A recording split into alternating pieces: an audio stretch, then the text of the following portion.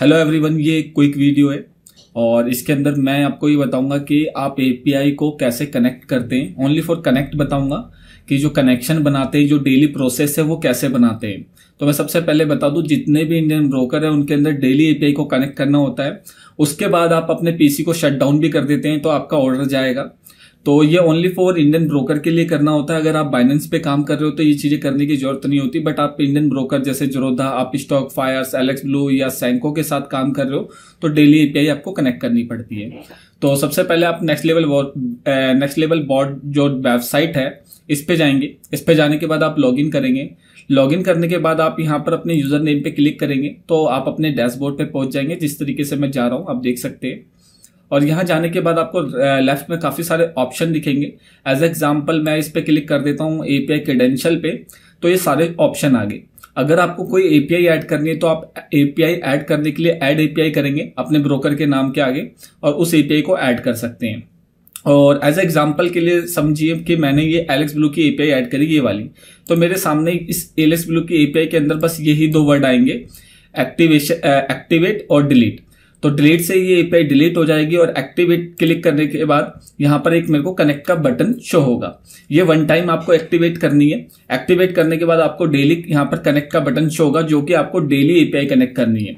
आप API connect करने के लिए सुबह आठ बजे, साढ़े आठ बजे, नौ बजे किसी भी टाइम एपीआई कनेक्ट कर सकते हो। अगर आप जैसे कि बारह, एक बजे के बाद काम करना चाहते हो तो उससे पहले कनेक्ट कर सकते हो। जब आपका दिल करे, जब कर सकते हो, पर डेली करनी है। आठ बजे से लेकर आप किसी भी टाइम पे एपीआई कनेक्ट कर सकते हो मॉर्निंग के टाइम में।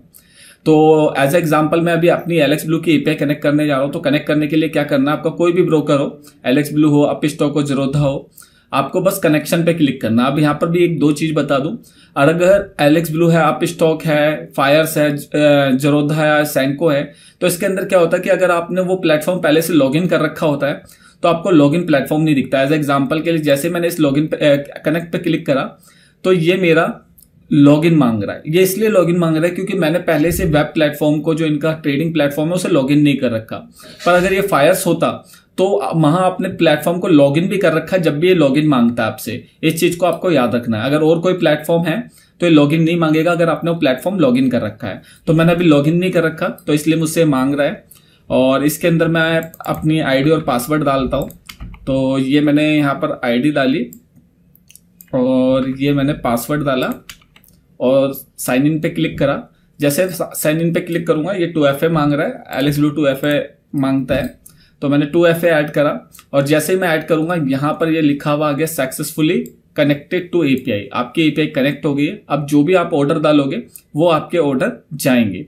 अगर ये चीज़ नहीं आती इधर तो आप समझ जाना आपकी एपीआई कनेक्शन नहीं बनाए कोई एरर आ गया, कुछ भी आ गया तो इट्स मीन की आपकी एपीआई कनेक्ट नहीं हुई। आई थिंक आपको पता चल गया होगा एपीआई कनेक्ट कैसे होती है। ऐसे आपको सभी ब्रोकर के साथ करना है, जो भी आपका ब्रोकर है। बाइनेंस के अंदर ये चीज़ नहीं होती। इंडियन ब्रोकर जितने भी है, उनके साथ सबके साथ डेली एपीआई करनी पड़ती है और ये कंपलसरी है। और आई थिंक आपको पता चल गया होगा, फिर भी आपको कुछ पता नहीं चलता तो आप कमेंट कर सकते हो. Thank you for watching this video